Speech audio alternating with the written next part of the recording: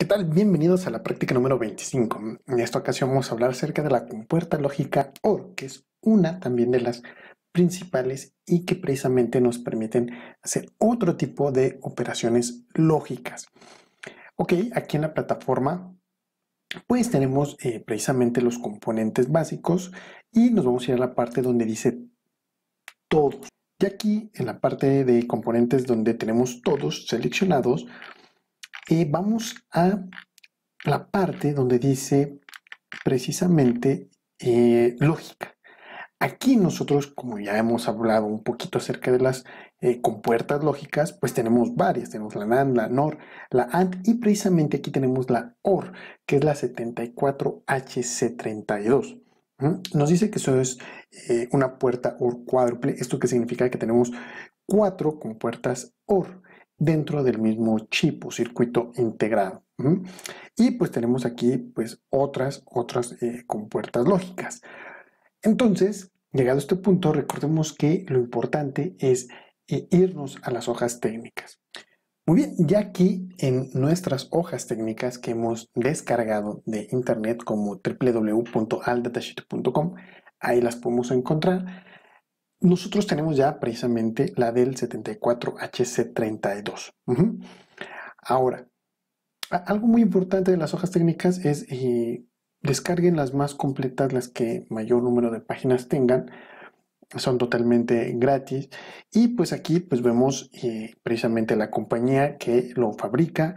Y también otra cosa muy importante es que precisamente nos especifica que son cuatro compuertas OR de dos entradas. Entonces son cuatro compuertas. Muy bien.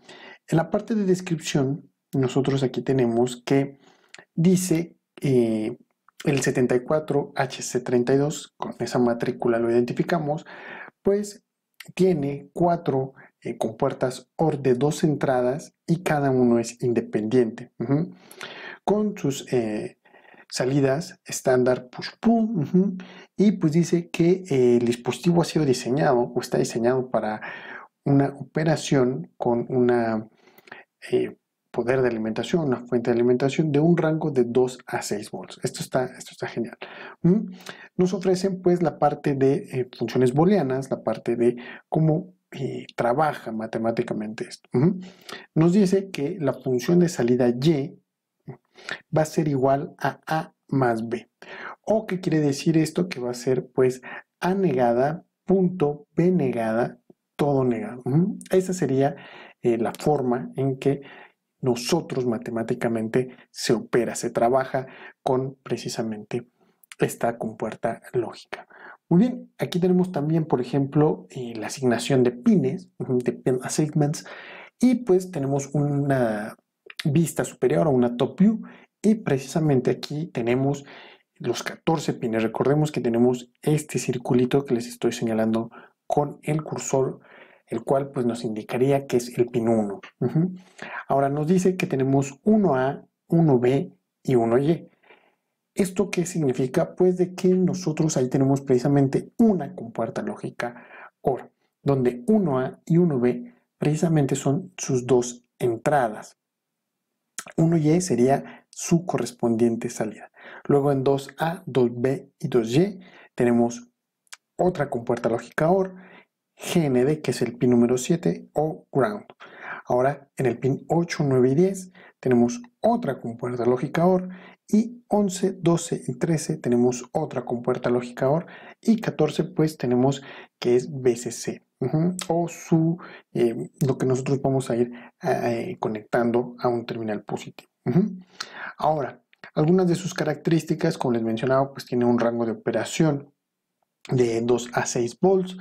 Por ahí nos dice que, por ejemplo, es un, eh, de bajo consumo, que es con tecnología CEMOS, y pues nos da algunas otras características, algunas aplicaciones, por ejemplo, dice que se puede utilizar en lógica de propósito general, también en algunos eh, amplia variedad de productos que, por ejemplo, pueden ser PC, en la parte de notebooks, netbooks, eh, periféricos de computadora, discos duros, CDs, DVDs, eh, televisiones, DVRs, en todo este tipo de circuitos de, de dispositivos electrónicos con estos circuitos nosotros lo vamos a encontrar ahí. También algunas pequeñas notas y pues aquí como les decía, pues cada uno de eh, las descripciones de los pines. Vienen bien, bien, bien especificados. Y precisamente su, eh, los diagramas de la lógica. Esta es la simbología de la compuerta. Observemos que nos está indicando cada uno de los pines, es decir, el pin 1 va a ser la entrada 1A, el pin 2 va a ser la 1B y el pin 3 pues va a ser eh, la salida 1Y y así sucesivamente para cada una de las compuertas. Algo bien importante acerca de eh, esta función, de esta función lógica OR, pues es precisamente su tabla de verdad. Ahora, o function table.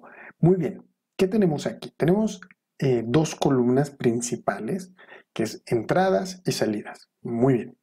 Ahora, en la parte de entradas se dividen otras eh, dos posibles entradas, que es A y B, y la salida Y. Muy bien. Recordemos que en cada una de las entradas nosotros solamente podemos mm, tener dos estados posibles. ¿Cuáles son estos dos estados posibles? Es, ¿tenemos energía o no tenemos energía? Entonces, como les hemos dicho en prácticas anteriores, la L significa the low y lo vamos a estar representando precisamente con 0 volts. H significa high y pues nosotros en nuestro caso para este curso lo vamos a este y para el funcionamiento de este circuito integrado son 5 volts. Ahora es curioso, es curiosa esta hoja técnica porque precisamente tiene una X. Ahora se preguntarán, bueno, ¿qué significa esa X? Significa eh, cualquier otro estado. La tabla eh, de, funcionamiento la están como condensando o resumiendo de esa forma. Les muestro en la parte de la derecha pues cómo es la tabla de funcionamiento eh, o la tabla de verdad precisamente la tabla de operación completa, es decir, low y low, 0 y 0, luego low and high, 0 y 1, high and low, 1 y 0, y precisamente high and high, 1 y 1. Como les digo, la tabla de funcionamiento que tenemos, o la tabla de verdad que nos presenta la hoja técnica, pues es una tabla de funcionamiento de verdad muy, muy resumida, donde X significa cualquier otra cosa. ¿Qué significa esto? ¿Qué significa esta tabla de verdad? Significa que mientras al menos uno de las entradas esté en alto, la salida va a estar en alto. Así es como se interpreta la tabla de funcionamiento o la tabla de verdad de la compuerta lógica OR. Ahora, pues nosotros tenemos aquí más, más este, los valores, por ejemplo, de eh, máximos con los que nosotros podemos trabajar Aquí, por ejemplo, eh, algo muy importante que es el rango de voltaje de alimentación o supply voltage range, es decir, tiene hasta 7 volts. Entonces, trabaja muy bien otros parámetros, por ejemplo, los, rangos de operación o, las condiciones eh, eh, recomendadas, pues por ejemplo son 6 volts, a lo mejor otro dato importante pues es el voltaje de entrada, igual tiene que ser muy cercano a BCC, que serían eh, lo que el dato anterior. El voltaje de salida pues va a estar entre 0 y BCC también. Y así, así pues algunas otras características ya muy, muy, muy de ingeniería, ya incluso mucho del diseño de ingeniería. Por ejemplo, los rangos de temperatura y pues por ejemplo los tiempos de propagación o propagación eh, delay los tiempos de transición. Ya, esto es ya muy de diseño y muy de ingeniería.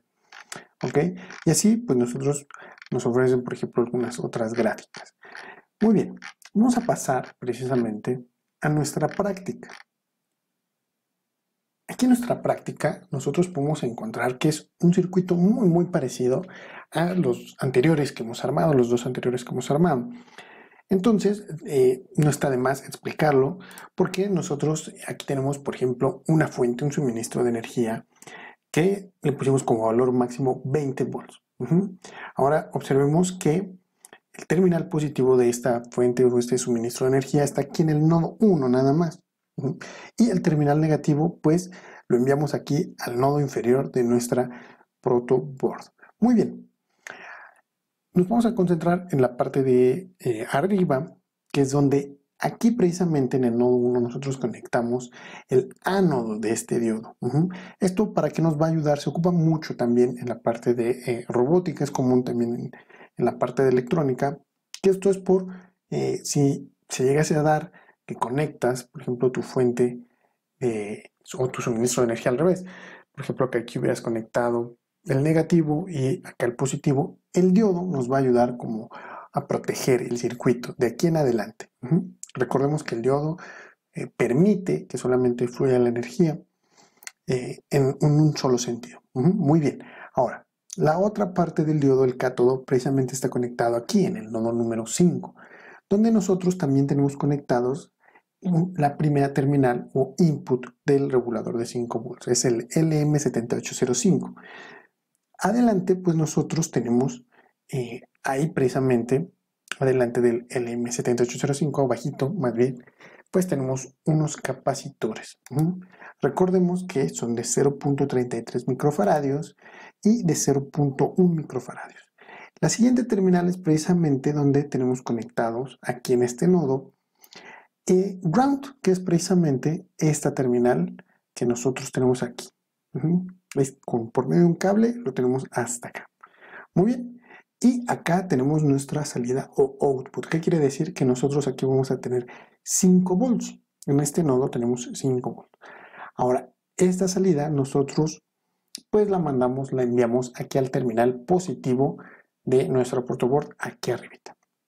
A continuación tenemos un deep switch, que es este que tenemos aquí abajito en color azul, con cuatro switches independientes. Ahora, si se fijan, el número 1 y 2 son los únicos conectados y en la parte de arriba, en los nodos 9 y 10, conectamos pues un alambre, un cable a los 5 volts. Y en la parte de abajo pues un resistor de 330 ohms que nos va a ayudar que precisamente para que cuando nosotros estemos eh, switchando, haciendo los cambios con nuestro deep switch, pues no haya un cortocircuito. Y tengamos aquí muy bien en este nodo que les estoy señalando este, los 5 volts que van a ser de las entradas del circuito integrado. Aquí tenemos ya nuestro circuito integrado y lo primero que conectamos fue precisamente tierra, aquí, es, un error típico, es un error muy común que se olviden de esta parte. Entonces se las recomiendo conectar primero, lo que es los pines de tierra, ground, o de alimentación, que sería el número 7 y el número 14 que tenemos aquí, que es precisamente potencia o VCC. Lo tenemos conectado aquí al nodo superior de 5 volts. Ahora, muy bien. Como ya tenemos conectadas aquí la entrada 1A y 1B, también tenemos conectado una salida, que es esta que nosotros tenemos aquí a un resistor y a un LED. Ahora, muy bien, vamos a iniciar la simulación para que veamos eh, qué es lo que está pasando, qué es lo que está sucediendo. Listo, ya iniciamos nuestra simulación, nuestra fuente ya está estabilizándose a los 20 volts. ¿Y qué es lo que está pasando? Nosotros aquí tenemos dos deep switch y observemos que aquí tenemos 0 y 0, es decir, están off and off, están a las entradas, no les está llegando absolutamente ningún voltaje. ¿Y esto qué significa? Que nuestro LED está apagado. Entonces, hasta este momento está muy bien. Ahora, vamos a irnos con eh, el siguiente cambio que podemos hacer en el siguiente deep switch, que es decir, 0 y 1. Y ahí está, en efecto, nuestro LED está encendiendo. Muy bien, ahora lo vamos a bajar y vamos a hacer la siguiente combinación que es 1 y 0. Perfecto, ahí nuestro LED se mantiene encendido. Y hacemos la siguiente combinación que es 1 y 1 y nuestro LED está encendido. Entonces está funcionando muy bien, está de manera excelente, bien armada nuestra práctica y pues así nosotros comprobamos el funcionamiento de una tabla de verdad. Muy bien, Espero que este video te haya sido de mucha utilidad. Te mando un fuerte abrazo. Nos vemos en las siguientes prácticas. Hasta luego.